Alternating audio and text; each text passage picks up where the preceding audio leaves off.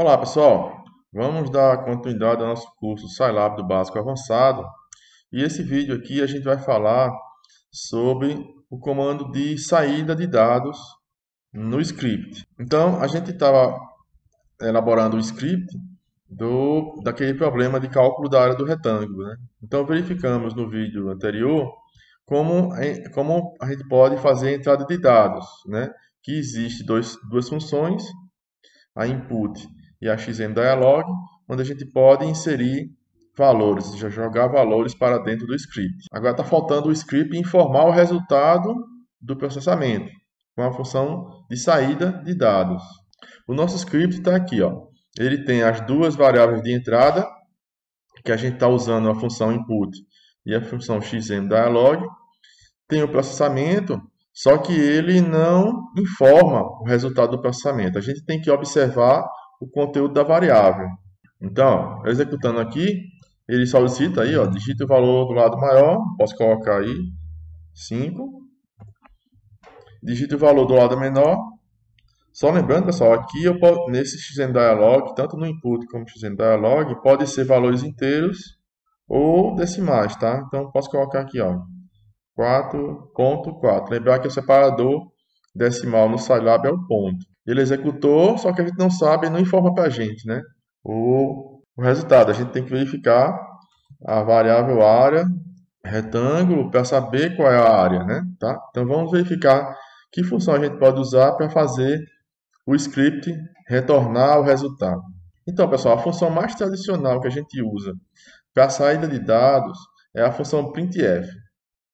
A função printf ela tem duas partes. Ela tem a parte da string e tem a parte das variáveis que vão ser impressas nos lugares é, marcados pelo, por, por esse flag, tá? Por cento, por cento %S, por cento %F.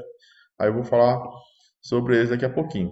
Então, o printf pode ser usado apenas como string, sem imprimir o valor das, do conteúdo da variável, ou eu posso querer imprimir o conteúdo da variável lá no console.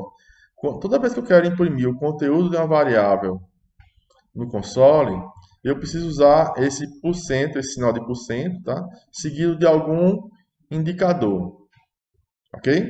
Então, por exemplo, se eu quiser é, imprimir o conteúdo de uma variável que é do tipo string, então eu uso %s. Se eu quiser imprimir o conteúdo de uma variável que é de ponto flutuante, que é decimal, sem me preocupar com o caso decimal, a gente usa o %f, que aí ele faz o ponto flutuante e seis casas decimais, independente do tamanho do número.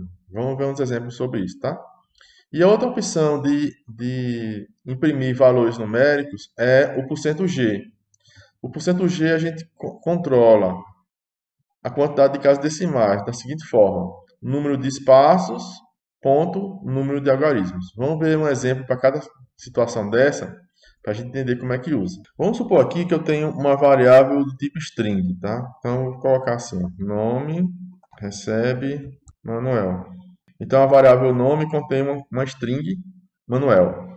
Para eu usar a função printf com essa variável, observe como é que se faz. printf, a parêntese, aí eu tenho uma string, tá? Que eu posso colocar uma mensagem ou não, ok? Posso fazer assim, ó, o meu nome é %s. Toda vez que eu coloco um %s, é um, um localizador, é a posição onde será colocado o conteúdo da variável. Eu coloquei um localizador, %s. Fechei a aspa. Como eu coloquei um localizador, eu tenho obrigatoriamente que colocar uma variável aqui no segundo argumento, tá? Então a variável vai ser nome. Fechando parênteses, observe o que acontece. No lugar do %s, ele colocou o conteúdo da variável nome. Se eu tiver duas variáveis do tipo string, por exemplo, nome, sobrenome, recebe Oliveira. Vamos supor agora que eu quero imprimir o conteúdo de duas variáveis tipo string. Como é que a gente faz? printf, a parêntese, abre aspas, né? Porque tem que colocar string, pessoal. O meu nome é aí por cento S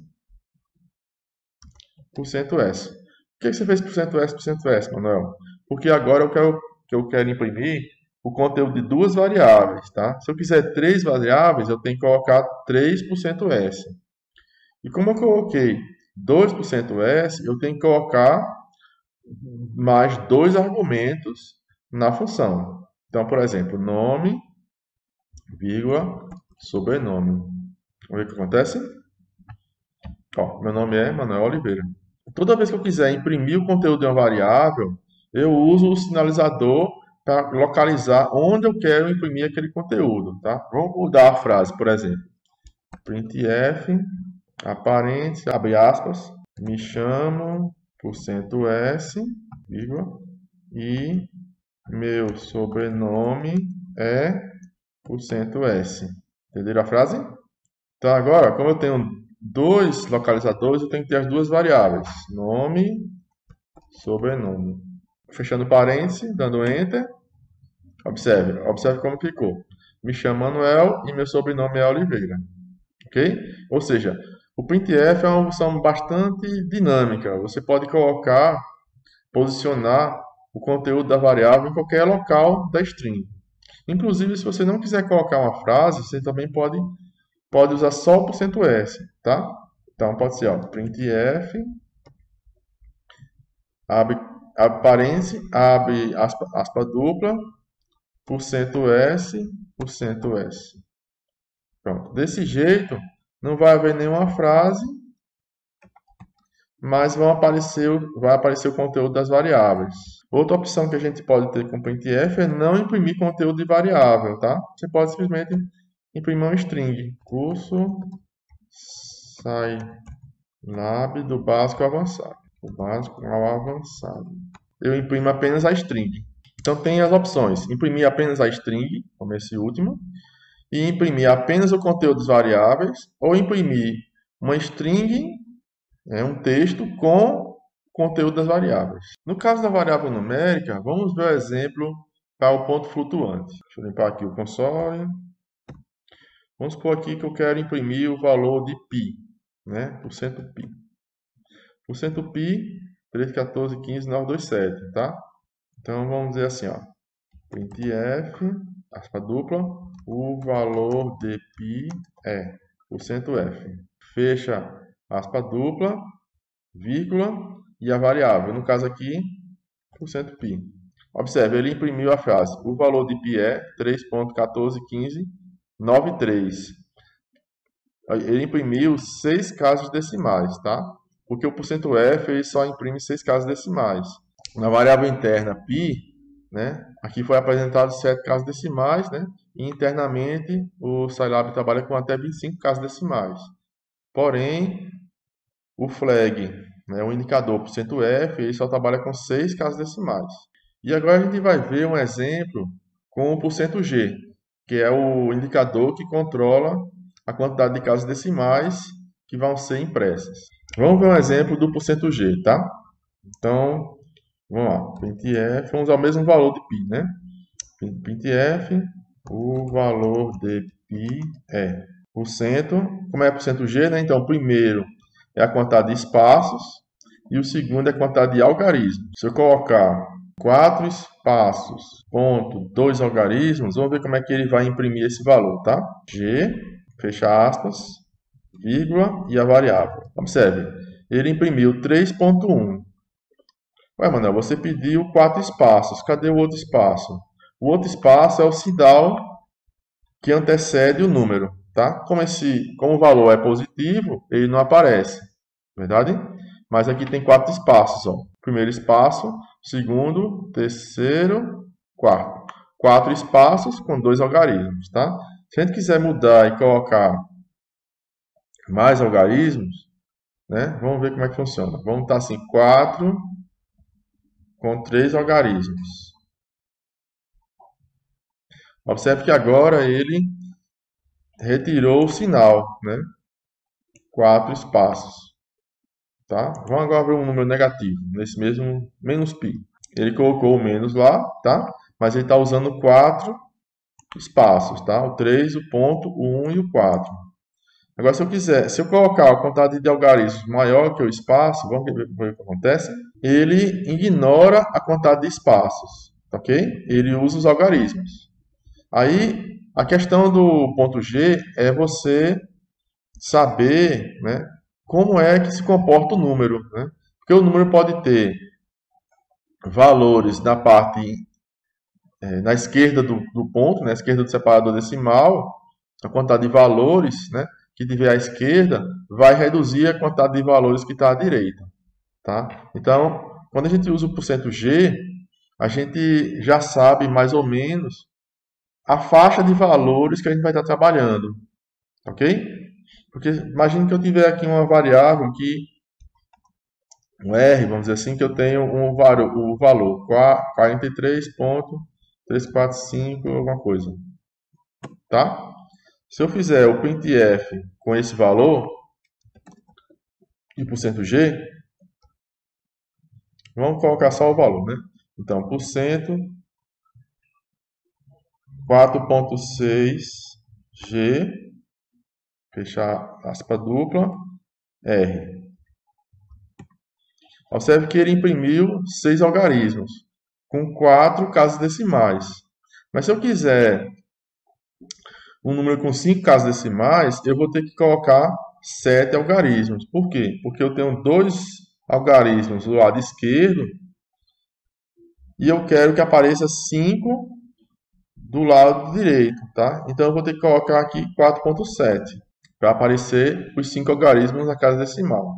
Uma outra opção que eu normalmente uso com o porcento G é não colocar a quantidade de espaços, ignorar isso aí, tá? Então a gente pode fazer o seguinte, ó. printf simplificadamente, né? Cento, aí a quantidade de espaço eu coloco zero e aqui eu coloco a quantidade de algarismos que eu quero que o número apareça. Tá? Vamos dizer que eu quero que apareça com quatro algarismos, independente da quantidade de casas decimais. Tá? E o R. Né?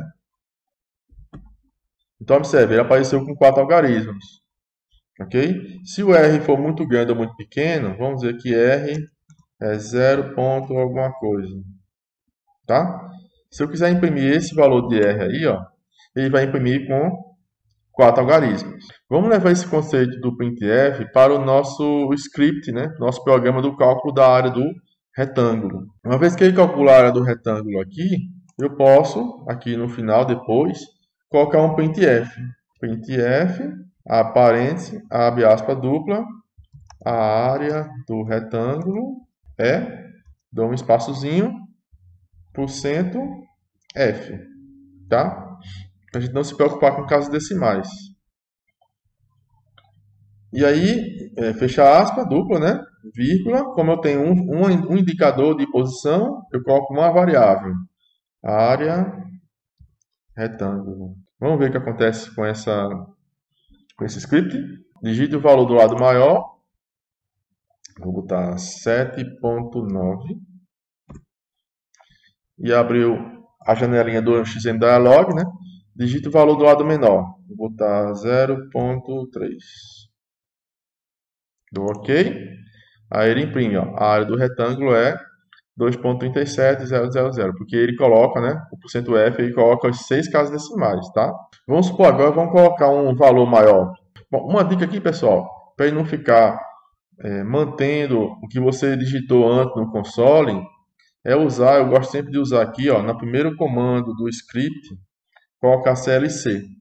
Porque o CLC ele vai limpar o console e vai aparecer exatamente a interação com o usuário. Vamos ver o que acontece com o CLC? Simplesmente ele chegou com a mensagem do input. Ele apagou tudo o que aconteceu antes, inclusive aquele exec que ele, que ele mostra quando a gente executa o script, tá? Então, digita o valor do lado maior, vou botar 350, 324, tá? Digita o valor do lado menor. Vou botar 100. Ok? Observe. A área do retângulo é 32.400.000. Por quê? Por que, que ele aparece 000, mano? Porque eu estou usando o porcento %F no printf. O porcento %F sempre mostra seis casas decimais. Uma mensagem melhor né, é usar o porcento %G, como eu falei, como eu mostrei antes, tá? Então vamos ver assim, ó. Eu vou comentar aqui essa linha do printf.